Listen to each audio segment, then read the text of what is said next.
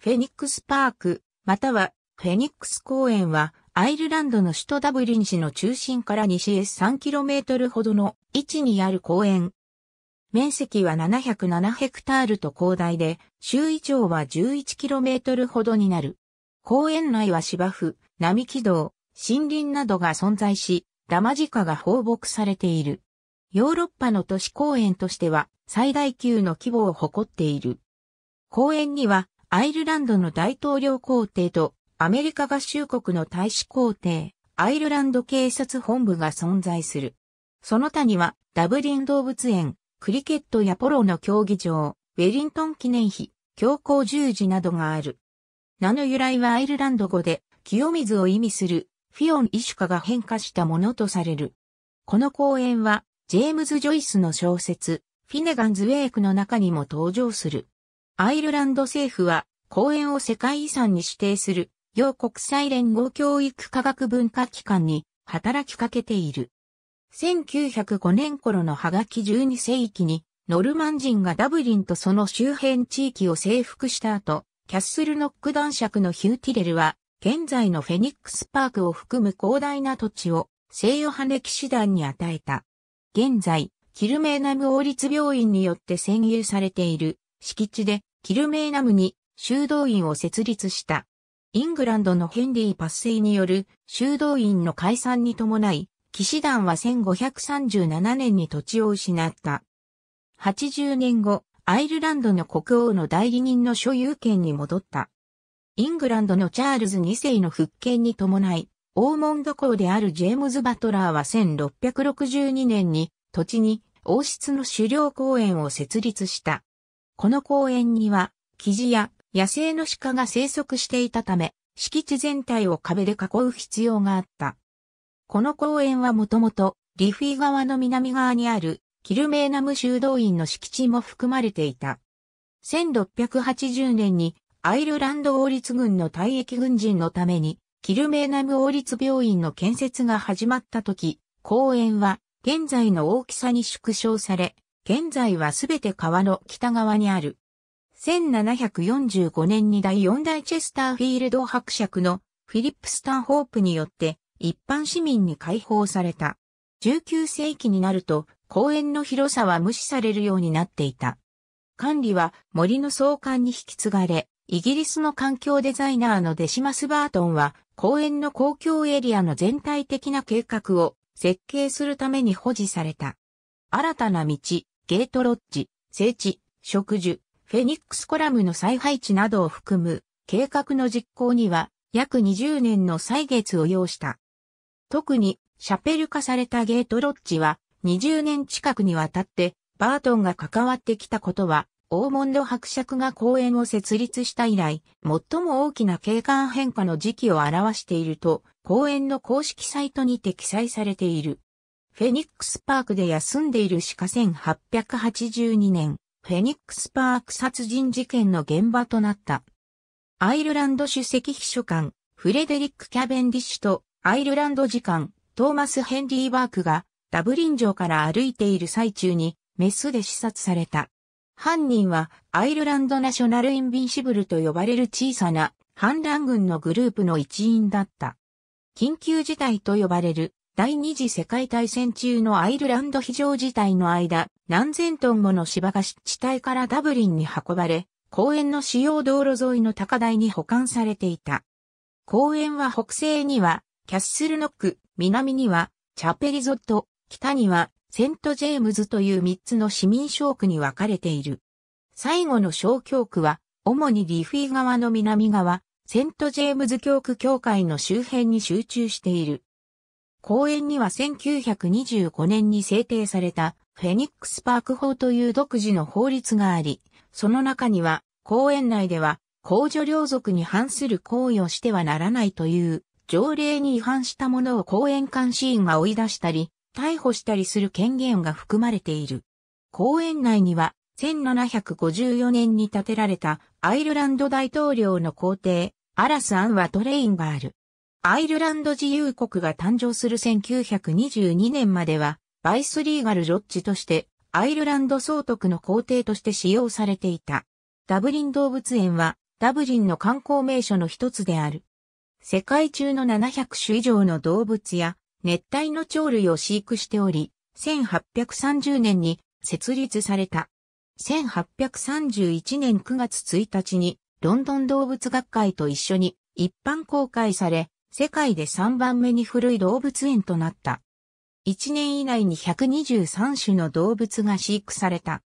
標高十字架15エーカーの端にある標高十字架は、1979年9月29日、教皇ヨハネ・パウロ2世がアイルランドを訪れた最初の日に行われた屋外ミサの背景として建てられた。信徒の数はダブリンの人口に匹敵する100万人を超えた。周囲を支配する白いラテン語の十字架は高さ35メートルで鋼鉄の桁で建てられた。何度か試みた結果、最終的には教皇が到着するわずか2週間前に建立された。2005年にヨハネ・パウロが死亡し、信者らは教皇の十字架に集まり、祈りを捧げたり、花や他の追悼の印を残したりした。教皇フランシスコは2018年のアイルランド訪問の最終日にここでミサを祝った。ウェリントン記念碑ウェリントン記念碑はウェリントン公爵のアーサー・ウェルズリーの勝利を記念した高さ62メートルのオベリスクである。ヨーロッパ最大のオベリスクであり、公的資金が尽きなければさらに高くなっていたとされている。ロバート・スミル家によって設計され、ワーテルローの戦いで捕らえられた大砲から鋳造された4つの青銅製のプレートがあり、そのうち3つにはウェリントンの経歴が描かれ、4つ目にはオベリスクの根元に碑文が刻まれている。記念碑は、フェニックスコラムと呼ばれる、ポートランド石で作られたコリント式の柱もある。現代の記録によると、この石は、公園の中心部には、高さ30フィートの円形の柱があり、首都の上には、不死鳥が描かれていると1747年に表現されている。また、アイルランドナショナルインビンシブルによって殺害されたフレデリック・キャベンディッシュとトーマス・ヘンリー・バークを記念した記念碑もある。長さ60センチメートルの十字架に少量の砂利を詰め、草むらに薄く切り込んだものである。在アイルランド米国大使の皇帝、ディアフィールド・レジデンス・ディアフィールド・レジデンスは、もともとは1776年に建てられたアイルランドの首席秘書官の皇帝で、それ以前は公園の定理のロッジだった。1927年2月からは在アイルランド、米国大使の皇帝となっており、1960年代初頭まではダブリンのアメリカ合衆国大使館だった。公園内で最も古い建物は15世紀に建てられた中世の塔屋を復元したアシュタウン城である。1989年に修復が開始され、5500年の公園と地域の歴史を解説する展示がある。ビジターセンターの隣にある。パークゲート通りの出入り口付近にある庭園は9ヘクタールの広さからなり、1864年に再開園した。これらの庭園は1840年にプロムナードグラウンドとして設立された。鑑賞用の湖、遊び場、ピクニックエリア、寝床など、ビクトリア朝の園芸技術が展示されている。庭園内には処刑されたイースター放棄の指導者であるショーン・ヒューストンに捧げられた像がある。医務室通りにはアイルランドの彫刻家ジェローム・コナーに敬意を表したプレートがあり、頻繁に訪れた庭園を見下ろすことができる。開園時間は午前8時から日没までであり、閉館時間は年によって異なる。公園の南東にあるマガジン、砦公園の南東にあるマガジン砦は1611年にエドワード・フィッシャー卿によってフェニックスロッジが建てられた場所を示している。1734年、初代ドーセット公爵であるダイオネル・サックビルがダブリンのために火薬庫を用意するよう指示したため、この家は取り壊された。1801年には軍隊のために翼が追加され、1939年12月23日のクリスマス襲撃の舞台となった。クリスマス襲撃とは、2、アイルランド共和国軍がアイルランド軍とマガジントリデを攻撃した事件である。この攻撃は、IRA による軍需品集積所の捕獲と膨大な量の武器の押収につながった。マガジントリでは、ジョナサン・スウィフトのジングルで風刺的に不死化されている。ファーリーグレンマウントジョイハウスフェニックスパークの湖夏のフェニックスパーク公園内には351種の植物が確認されており、そのうち3種は希少で保護されている。古い草原と森林地帯がほとんど残っており、湿地帯の珍しい例もある。鹿は1660年代に公園に導入された。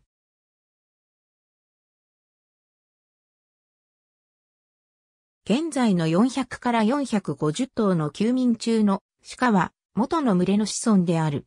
園内の30%は広葉樹を中心とした樹木で覆われている。2007年2008年に行われた野鳥観察調査ではヨーロッパのスリ、ハイタカ、超原棒、カケスなど72種の鳥類が確認されている。アイルランドで最も新しい繁殖鳥である赤ゲラは何度か目撃されており、最近ではトラフズクが繁殖種として確認されている。また、リフィ川の支流である小川もいくつかある。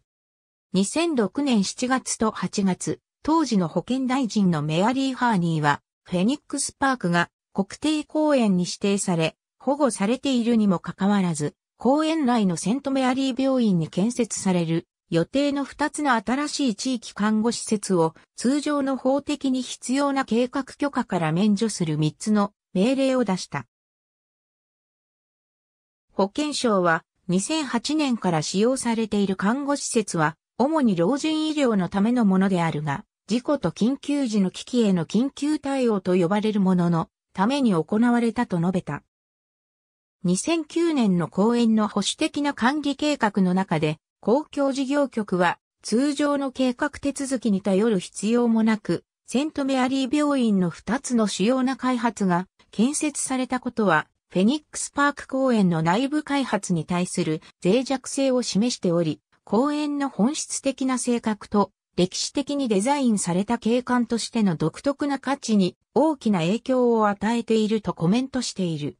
公園に対する圧力と脅威と題された部分では、適切な計画指定がなければ、この計画の調整されたビジョンに沿っていない開発が行われる危険性があると懸念を表明している。この文書は公園の完全性に対する同様のリスクについて警告している。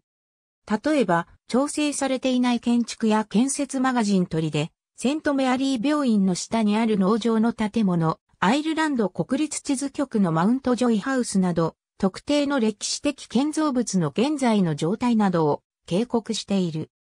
フェニックス公園の大通りに自動照明ガス街路灯が並ぶフェニックスパークからの眺めモーターレースは1903年にフェニックスパークで初めて開催された。これに続いて1929年にはアイルランド国際グランプリが開催された。レースは1932年から第二次世界大戦が始まる1939年まで行われ、1949年にはオールドタウンサーキットでスプリントが行われ、翌年には再びフルレースミーティングが行われ、現在に至るまで事実上継続して使用されている。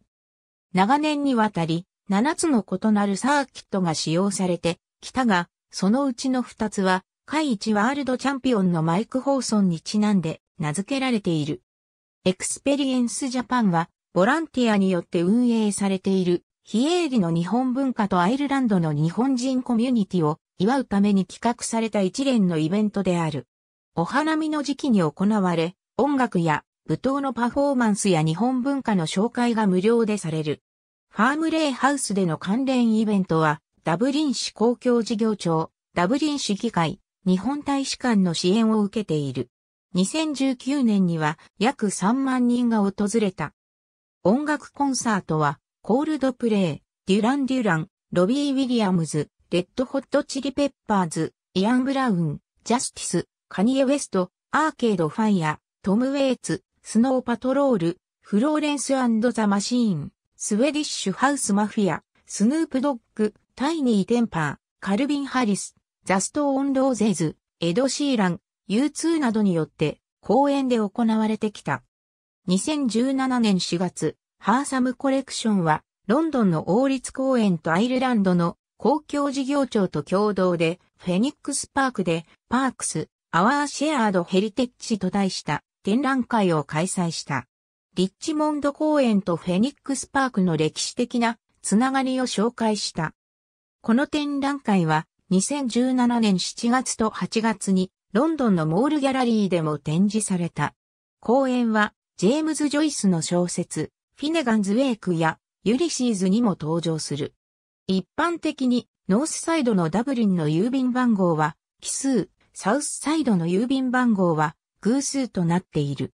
例外としてフェニックスパークはノースサイドにあるが、ダブリンパックと偶数である。ありがとうございます。